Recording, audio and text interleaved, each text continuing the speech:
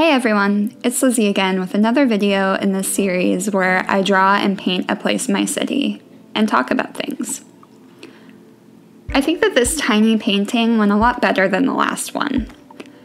I approached it in much the same way by sketching out the major shapes with a light yellow watercolor pencil, blocking in those different shapes, adding texture and detail with a brush, and then finally adding some line work with white and black gel pens.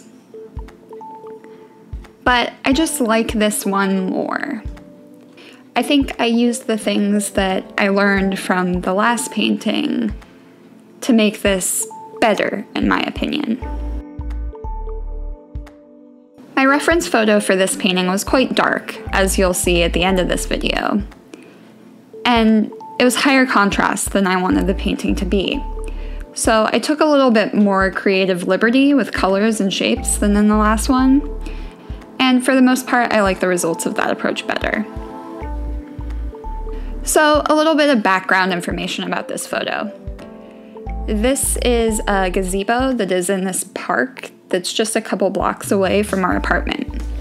There's this really odd shaped greenhouse at this park, and if you walk around it, the gazebo seems to kind of appear out of nowhere through the trees. I took this photo on probably the last day that really felt like summer here in Western Washington.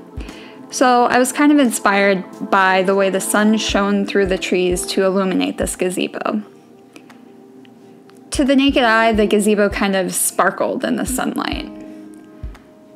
Now that it's quite a bit colder, more overcast, and wetter outside, it's kind of nice to look back on this photo and this painting and feel a little bit of that summer brightness and warmth that has since passed.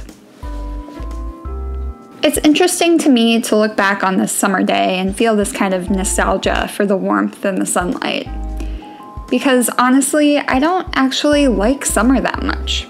I guess I feel most like myself in the colder months when I'm bundled up in more clothes and everything feels kind of damp and cold. Maybe this is just one of those things about living where I do. The summer is nice for a few weeks when it starts, but I always find myself longing for the wet and cold after the novelty of being warm has worn off. I think maybe it's an emotional thing. Like, maybe I like to feel those kind of melancholy feelings of taking a walk in the rain.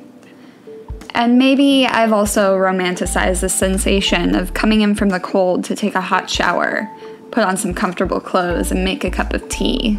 Maybe the feelings of the cold and wet autumn months speak to my soul in a way that summer never could. Or maybe my favorite memories occurred in the fall. I don't really know the exact reason, but I have to say that I'm really glad that summer's ended and we're back to the weather where I feel most comfortable.